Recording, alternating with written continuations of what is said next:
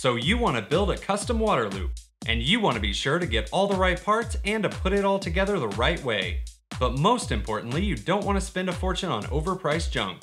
Well, Real Big Daddy EK Water Blocks knows what you need and has just released their new Classic Series liquid cooling kit. And I'm gonna show you how to build it, step by step.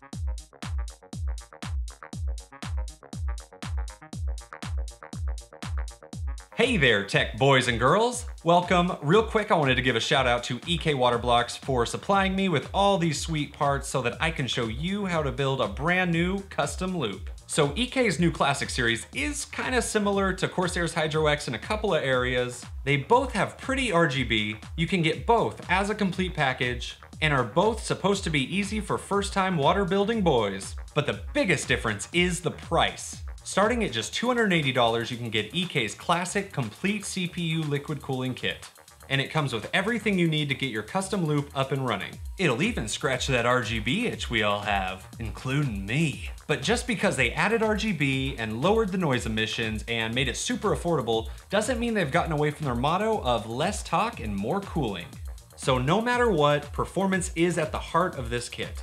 So we're gonna get into all the parts that come inside this kit, then I'm gonna do a step-by-step -step of how to put it all together. I am pumped. So what you're seeing here is the classic RGB S240 kit for only $280. And like I said, it does come with every single thing you need to put the kit together. You're not gonna have to go out and buy anything else. We've got the Supremacy Classic CPU water block, the Coolstream Classic SE240 radiator, the XR ES 140 Classic Water Pump Reservoir Combo, two of the Vardar Evo RGB radiator fans, two meters of soft tubing, six nickel compression fittings, the CryoFuel Clear Concentrate, a pump bracket, all the cables you're gonna need, and the mounting kits for both Intel and AMD along with the screws.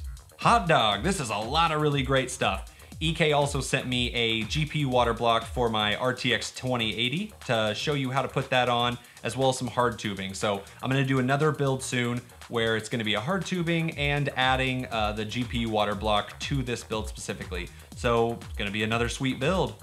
For benchmarks, I'm using Cinebench, Blender, and 30 minutes of Division 2. So at 3.7 on all cores, we have an idle of 28 degrees, and at 4.0, it was only 30 degrees.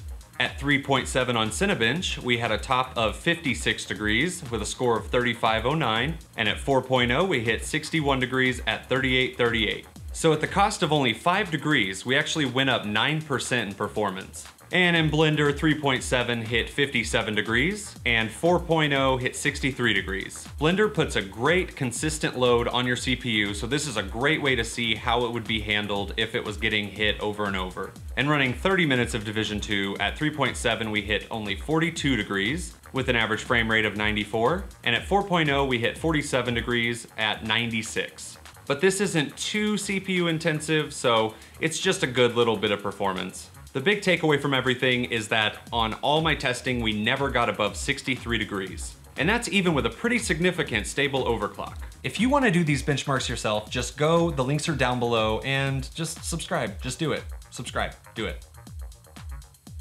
So now we're finally here, we're gonna have some fun, we're gonna put it all together. Remember, we don't need any specialty tools. You might just need a screwdriver, but all the other stuff is included. The only thing not included is your imagination.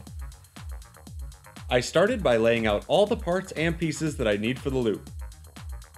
Let's begin by taking out the water block screws to install the AM4 mounting plate, and then once we have that in there, put the screws back in and boom, the CPU is ready to roll. And then I'm to grab the pump radiator combo, unscrew the legs off, install the pump bracket underneath, and just screw it back on, and it's ready for action. I'm putting the fans on the open hole side of the radiator, which is going to push the air through the rad. Then just send the long screws down into the holes and tighten it up. And be careful not to over tighten, and really that goes with any computer part. Let's grab our tubes and fittings, and then separate the compression fittings into two pieces. Send the tube through the outer fitting, and then push the tube onto the barb fitting. Bring the fitting pieces together and tighten. This was mainly just a demonstration, you're want to wait until everything's in its final place before actually putting the barb on. This is a liquid concentrate, and on the bottle it says to mix it with 900 milliliters of distilled water. So I'm gonna do just that. Filling this specific reservoir is pretty easy, so I'm just gonna use a pitcher and be careful and pour it in. Install whichever mounting kit works best for your motherboard, and keep the long screws up so we can thread the water block onto the CPU next. Add the EK recommended 2 rice grains of thermal paste to the CPU, then slip on the water block and add the springs and tighten down, two diagonal sides at a time. For mounting your pump res combo, there's no exact answer but a general rule is to have it mounted lower than the radiator and installed securely. Place your radiator and fans into whatever position you want, and oh man, we are almost there and it's looking clean. Let's screw the barbs into the sockets of each cooling component. EK was nice enough to mark the in and out on the block and pump, so put the tubes on the associated barb and work it on there until it's tight, then carefully but firmly twist the compression fitting on.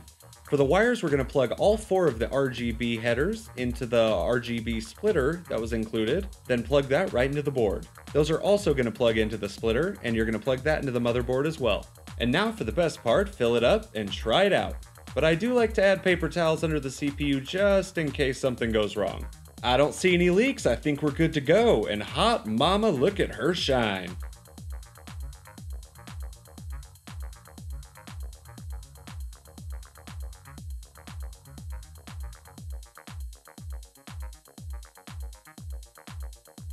So there you go. I hope one, you're able to now put together your EKWB Classic kit or just anybody that's building a CPU loop. So that was a lot of fun. It was very, very easy.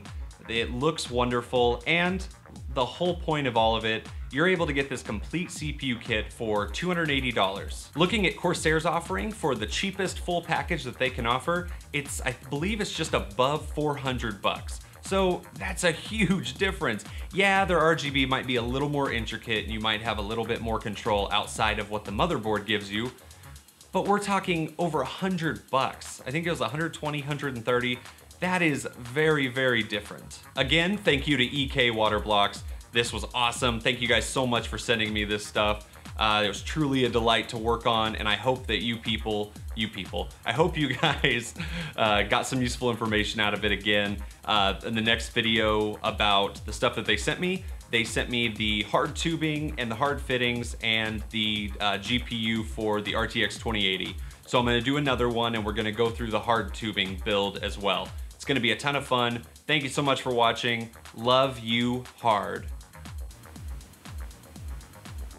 If you want to talk to my face, add me on Facebook and Twitter, join my Discord and come chat, and check out my other dankalicious videos. Holla!